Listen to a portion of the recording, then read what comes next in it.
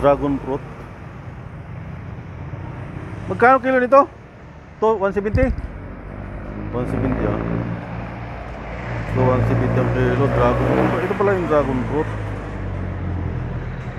Hmm, may pinya naman, may pinya si ate.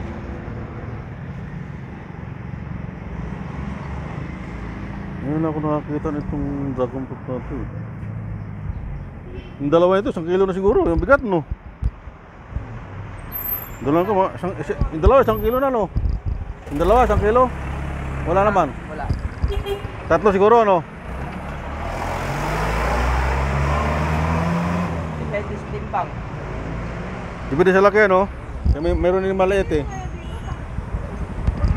Meron siya ating, ano, panindang pinya.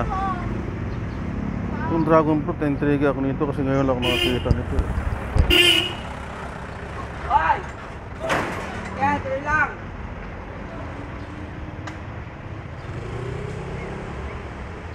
May pinya pa.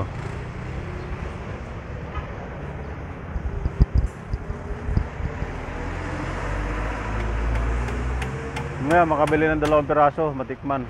Bili ka na. May may konti, dito pa naman ako eh. Ang video muna ako para sa aking vlog. Ha? Para ma-upload sa video sa YouTube. Ito paninda niya oh. Nag-YouTube ka ba? Ang ganda ng pin niya oh. Kamis yan. Parang ang bango na ano? Ha? O bango doon na? Ngayon lang ako nakita talaga yan, dragon fruit na yan. Ito. Oo. Masarap yan. Ano, babalatan siya. Ito. Mm. Iay mo to. Mm. Ito. Mm. Tapos ganyan-ganyanin mo ng kutsilyo. Tapos gaganyanin mo. May Pwede mo ganun? rin biyakin, tapos kutsarain mo. Ah, ganun? Oo. Biyakin diretso. Mm. Tapos kurutsarahin. Biyakin mo to. Mm, mamaya. Mama, maliit. Mag-iwan ka lang. Hindi ka maliit dyan. Huwag mo kasi kainin. Yung dinisplay namin, yung pag-display kinain. Oh, sample ba? Sample. Sampulan mo muna. Pag-sample dyan. Ha? Mahal. Ma eh, ikaw naman basta. Abas.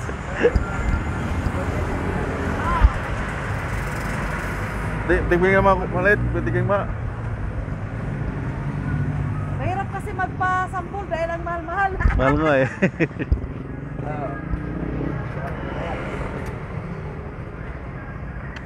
Sarap ma. 170. Bang CBD. 171 po. Mm. Sarap ma, 170 ang kilo. 170 po kilo. Hmm? Ilan, te?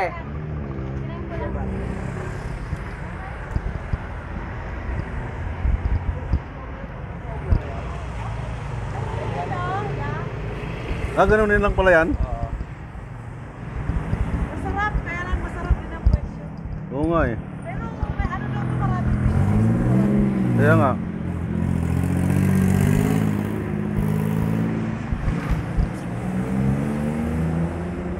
Mayaman talaga sana, walang problema.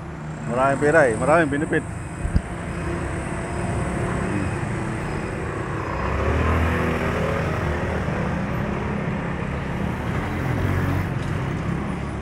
Hindi masyado siya matamis, no? Kaya may dip ano siya, eh, pwede siya may diabetes. Yeah. Laki naman. Sobra siyang dalawang kilo yan. Hindi oh. Ano natin?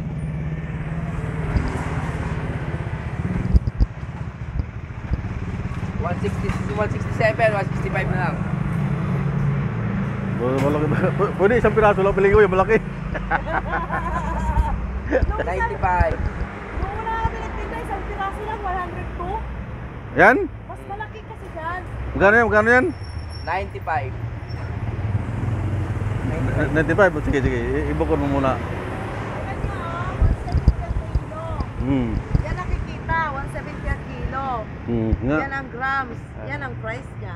Hmm, 95.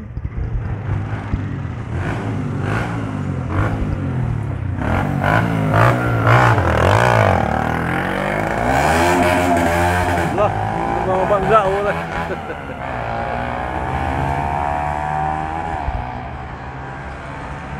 Ninety-five. Ganda ng ano niya oh, yung laman niya oh. Oo. Kitang-kita dito sa video. oh. Dito may mga cactus din dito.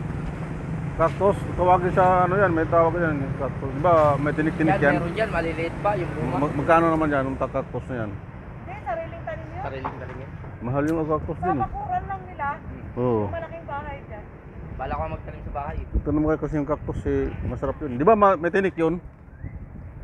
Gawin mo, tumabas ka ng kapiraso, di ba may mga buto yan? Hmm. Tumabas ka, bilad mo, tapos tsaka mo Tanim. ipabinhi.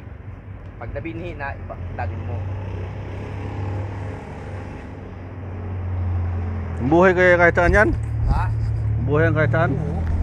Eh ba't, Yan nga nabuhay eh. eh ba't tulang, eh ba't tulang tanim dito sa, dito sa Manila, dito? Marami yan. Mga nagtatanim yan, mga farm. Ah, ganun. Tanim mo na sa probinsya niyan.